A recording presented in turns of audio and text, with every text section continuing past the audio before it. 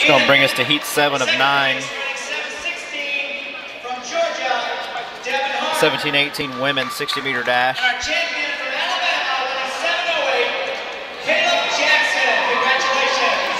We have several runners with a seated time of 7.9.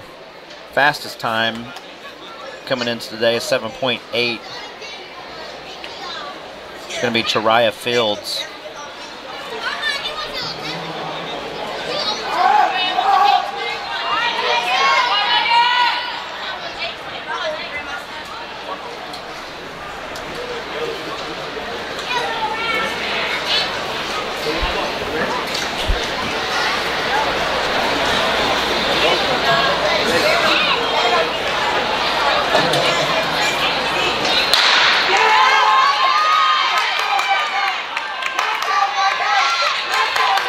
Looks like lane three is going to take this heat.